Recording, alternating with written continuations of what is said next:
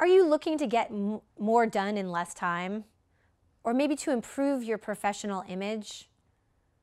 Or to get better results from your business writing?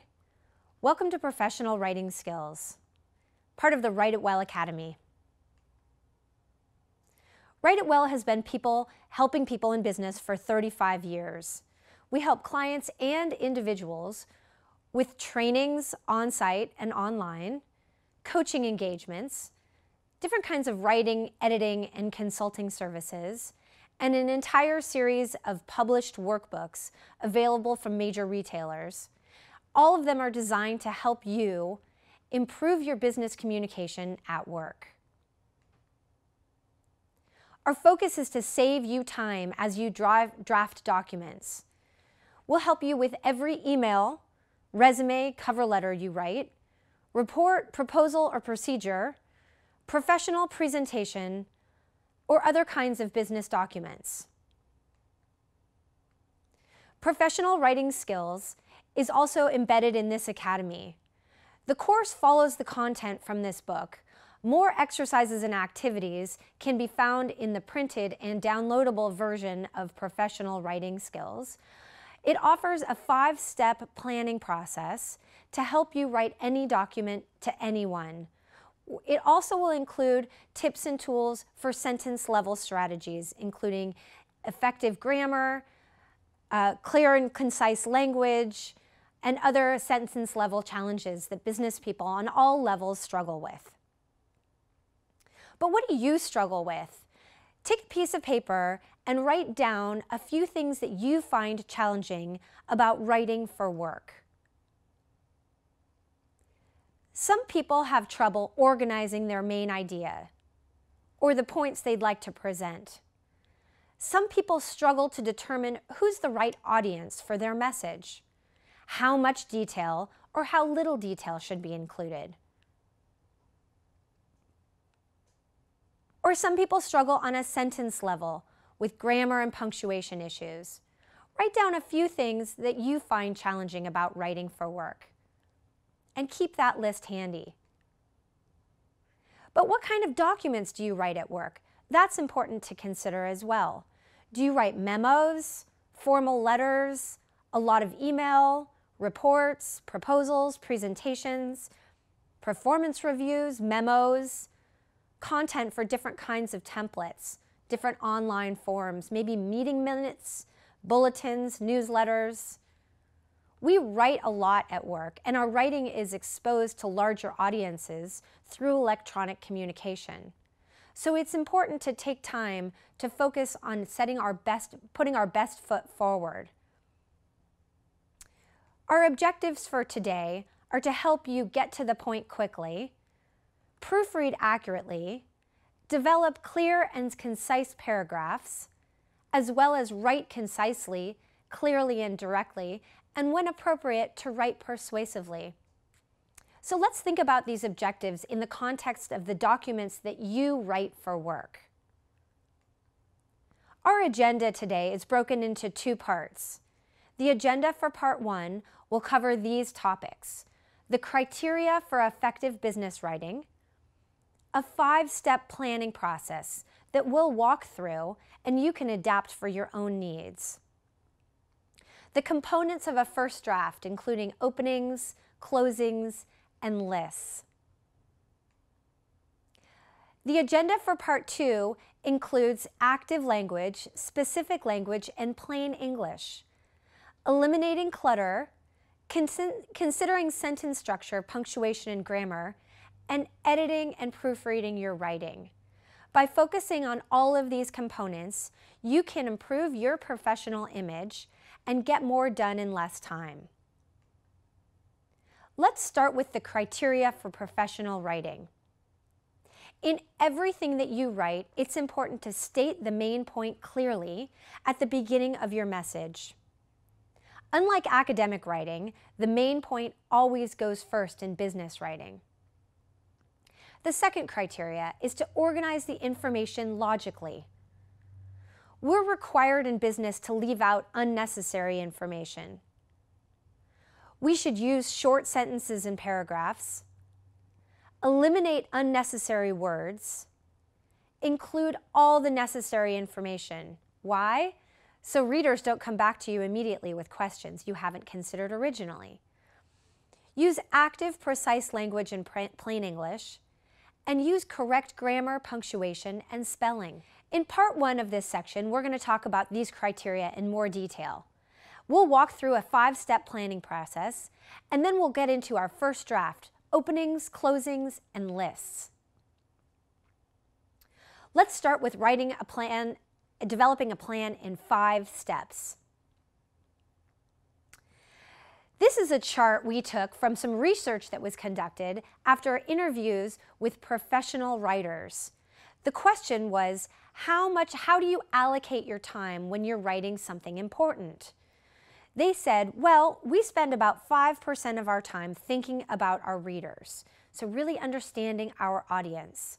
We spend another 5% determining our purpose, the purpose for the communication.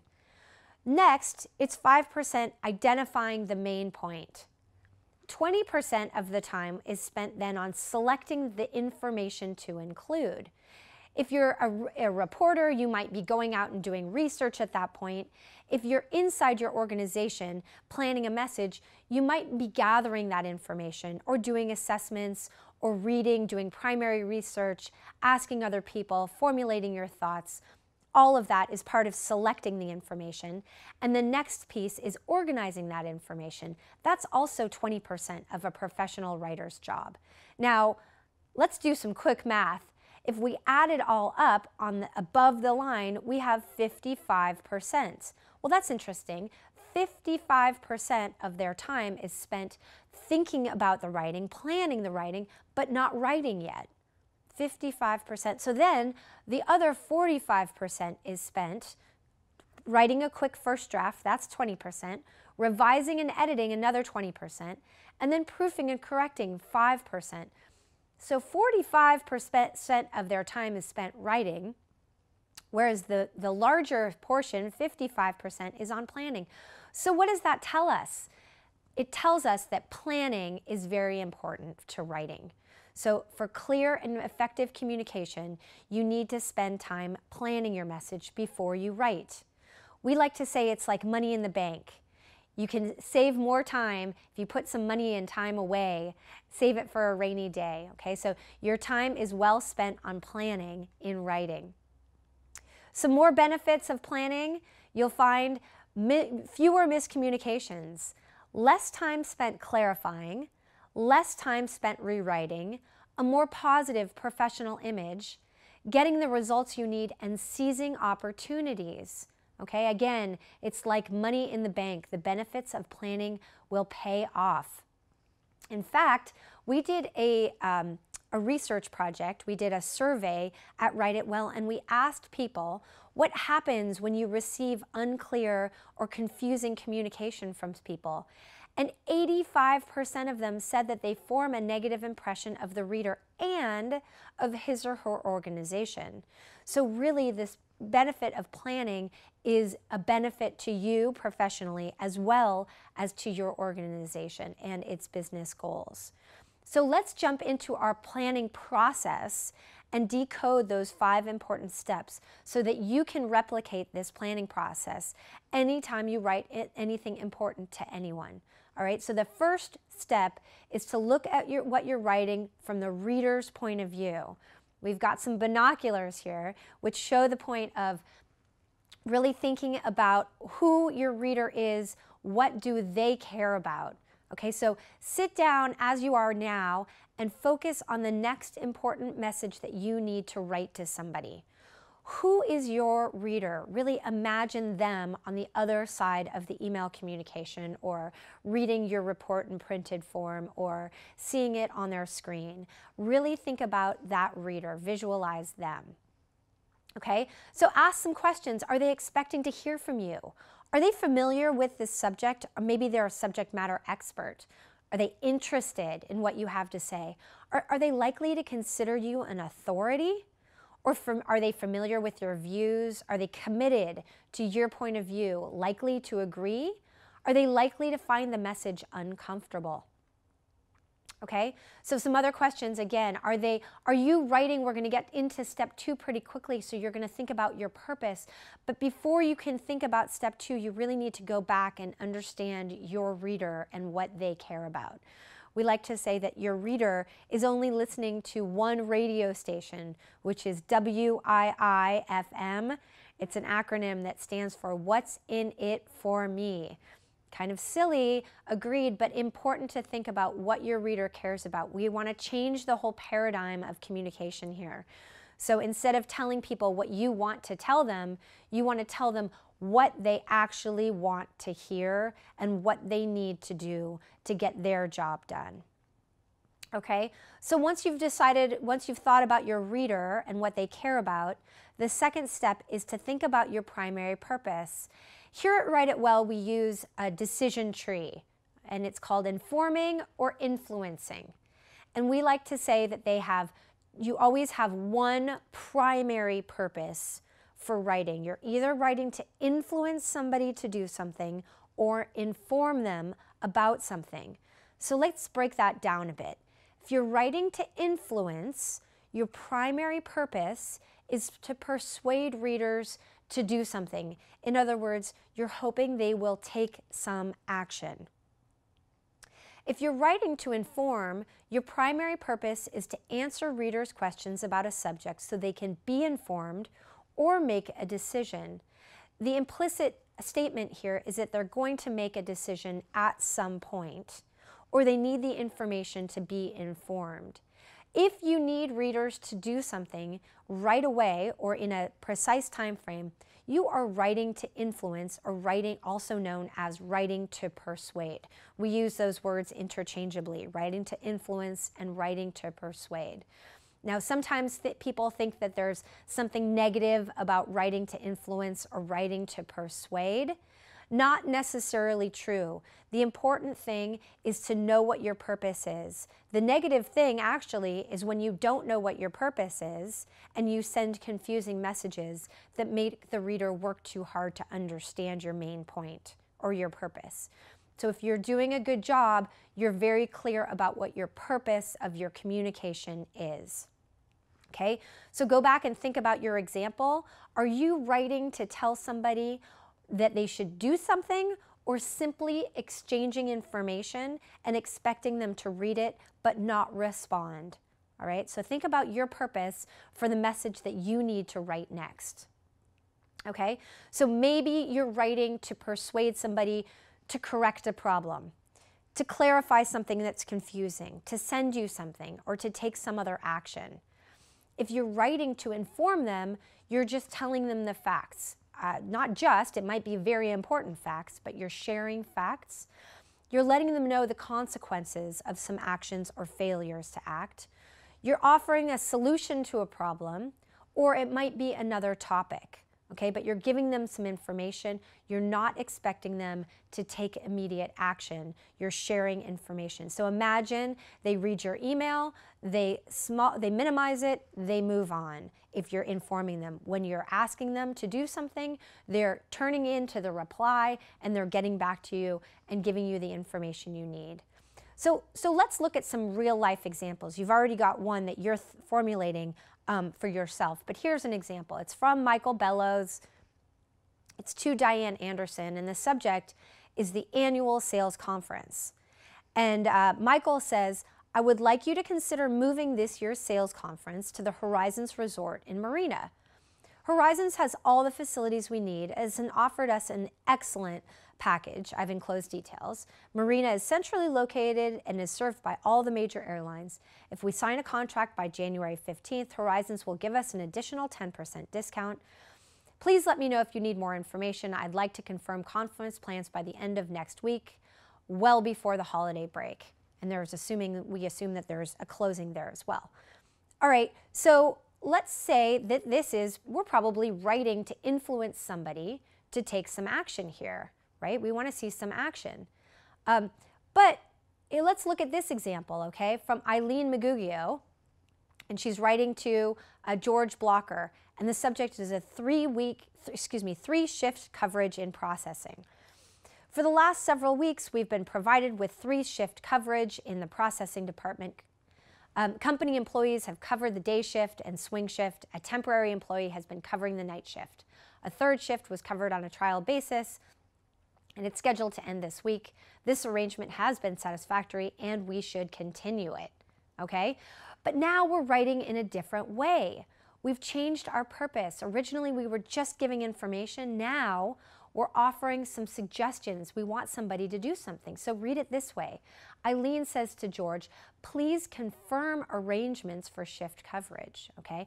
I recommend that we continue our three shift coverage. Please let me know what you decide. The coverage has been working out very well in the processing department. Okay, so this person has thought clearly about their, their main purpose for writing, and they've thought, if I just give information, I may not get the results I need, and it's appropriate for me to write here to persuade somebody, to influence them to do something.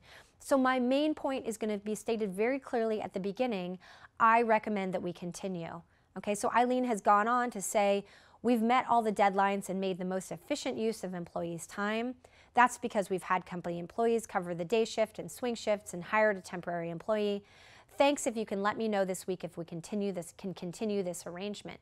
Okay, so very clearly stated. By the way, if you tell somebody to do something in the form of persuasive or influential writing, they're generally going to ask you why. So your job isn't just to tell them what you think should be done, your job is to tell them why they should do what you're suggesting they do. So we don't get off the hook by just saying, I re recommend that we continue, right? The question's always going to be why right? Our readers are not easily influenced, but we do want to tell them clearly what we think they should be doing. Okay, so here's another example, all right? Now here we're persuading again the reader to address the meeting. Um, Dear Miss Layton, we suspect you're very busy, but we would be delighted if you'd agree to be uh, the keynote speaker in early October at the first meeting of the new Glendale Climbers Club. Please let us know if you'd be available. Our members would be happy to hear. You take a minute and read the rest, but generally, what are readers doing, by the way? Our readers are skimming. They're skimming the beginning of a message to see what the most important message is. So be clear at the beginning of every message. Are you writing to persuade or writing to inform, otherwise known as influence or inform? What is your most important purpose? Okay. And if you're just writing to inform, be clear about that. We will hold our first meeting on Thursday, and our keynote speaker will be. Do you notice the difference here? Previously, we said, please join us. We'd like you, and here's why. And here we're simply sharing information about the meeting. Okay, so remember the first step in our planning process was around thinking about our reader. How busy are they? How are they going to read the message? What information are they interested in hearing from you? Our second step in the planning process is to be clear about our purpose. Are you writing to inform or writing to influence? So now I'm going to address your, your question, which usually when we work with groups on site, I get a question like, well, actually, I'm trying to do both. And so remember when I said you have a primary purpose. Um, it's very difficult to do two things really well. So our suggestion to you is consider your most your your primary purpose for writing so you may have a secondary purpose oftentimes if you're writing a press release for example your primary purpose is to either influence or inform but they're they're pretty closely linked informing and influencing again with press releases but in the course of normal business communication, or what we consider to be everyday business communication, you can, if you work hard, determine a primary purpose, which is either to inform or to influence, right? Um, it's hard to do two things really well at the same time. Pick a primary purpose. You may have a secondary purpose. Okay, so once you've followed steps one and step two in our planning process, we're going to move on to step three, which is to compose a key sentence that delivers your most important message. Okay, so what is your most important message? Here's uh, document A, and as you can imagine, document B is next, but let's take a look at document A from Mr. Weller. Safety is our number one concern, and our safety record shows that we're all trained well. There's a lot of traffic on the block of Jefferson Street between South Main and Mission. The street sees heavy traffic very regularly, yet its current condition is a safety hazard. The street should probably be widened. That would have tremendous benefits and we'd certainly get the job done. A night permit would allow us to start right away. Hmm, if I'm reading this, I'm probably reading through it, but I might have missed the most important message because where, where is it? Where is that most important message? Okay, so here it is written much more clearly. I'm writing to ask you to give my construction company a noise permit and allow night work on the block of Jefferson Street between Grand Avenue and South Main. The street sees heavy traffic very regularly, yet its current condition is a safety hazard. Widening the street would have tremendous benefits, and we're ready to work day and night to make the necessary repairs. We hope to begin work as soon as possible. If you have any questions, please call me at my office. All right, so we've been very clear here about the most important message, and we've put it right up front at the beginning of the message. I mentioned early on that academic writing and business writing are different. Don't forget, in when we were in school, we oftentimes were required to write 13 pages, and our main point, our most important point, was the conclusion. And it was at the end of the 13 pages. But in business writing, people are not reading every word. I like to say, are they? Do you imagine people curled up on the couch, sipping hot cocoa and lingering over every word of your writing? Probably not. They're skimming and scanning, looking for the most important message. That's why our job is to put it up front at the very beginning okay? So again, we've highlighted the most important message and there it is, up front here at the beginning. So again, if we're writing to persuade, we're suggesting that our readers do something like, please approve the plan, all right, we need to get the expansion project. We hope to include a gym at the new facility. And if we're writing to inform, we want our reader to know something okay? So the point I'm, uh, th this is how we write our most important message based again on whether we're writing to persuade or writing to inform. The project I'm coordinating will be finished by May 19th, or I'm sorry to tell you that your application has been denied, and so on, all right? So keep your main point in context of you, the purpose for writing. Steps four and five are an important part of the planning process as well.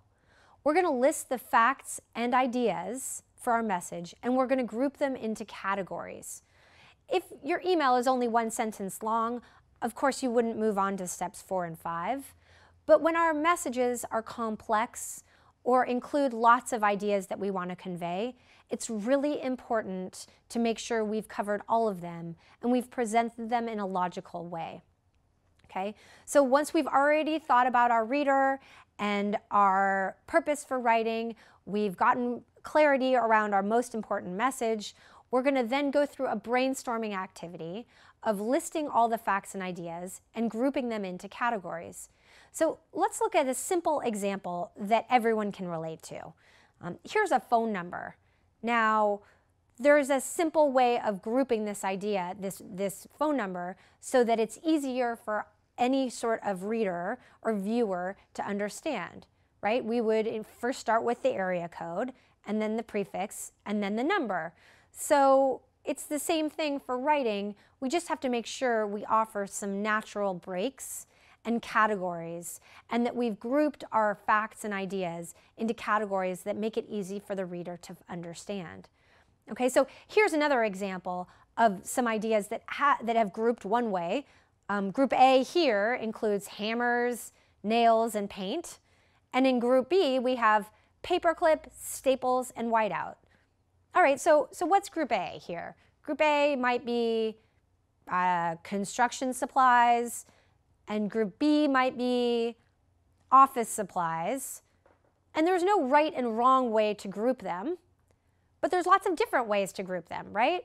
So maybe we could group them as group C and D instead. And so here in group C, we've rearranged things. So paint and whiteout are in one group, whereas all the other tools that are not liquid, hammers, nails, paper clips, and staples, are in a different group. And we can call those group C and group D whatever kind of category or whatever kind of group identifying agent we want to use. The important thing is not how we group them. The important point is that we've taken the time to group our ideas and organize them in a logical way. Why? Because it's much more rational and easier for the reader to follow. So there's different ways, again, to organize your ideas. You may choose different topics for organizing. So you may organize based on cost or ease of use or time frame or a different kind of feature. Here's, here's another example for organizing schemes, right? It might be um, first year, a scheme might be the first, scheme one might be the first year, second year, third year, or scheme two might be past, present, or future. You know, again, the most important point is that you take ways to categorize. Other ideas might be the pros and cons. That's really one that people can fall back on all the time. Again, disadvantages or advantages, meets or fails to meet our criteria. These are great ways to organize the content and group it in ways that are helpful for the reader. So here's you know one that we can do together essentially how are these facts able, how could we group these ideas? Let's say, you know, these, these, all these different sport activities need to be grouped in different ways. So surfing, skiing, windsurfing, snowboarding, how might we group those? Um, we could group them by water related or non-water related. In workshops, I've heard lots of people come up with lots of different ideas. So um, sports that need a ball and others that do not need a ball um, winter sports and summer sports or seasonal sports, um, expensive sports, less expensive sports. Um, there's lots of different ways to organize, but I think that you and I will agree that it's important to take the time to organize our ideas. Again, um, other ways of organizing this might be little or no cost, moderately expensive and expensive. So take a moment and think about the email or the document that you started think that when you identified your reader and your purpose, your main point. What are all the facts and ideas that reader needs to know? If you're persuading somebody to do something, you might tell them, I think we should adopt this new process for ordering supplies. Then think about all your readers' questions. They're going to be asking about well, how do we implement this? And how does the ordering work? And how do we communicate this new process? And what's the budget around this process? And who gets to decide? And what things are included? And you want to do a really great job of brainstorming all your facts and ideas and then organizing them into logical categories so that anyone can follow your most important point okay? The idea is to get results with your writing to make sure that the time that you spend communicating achieves the results you need.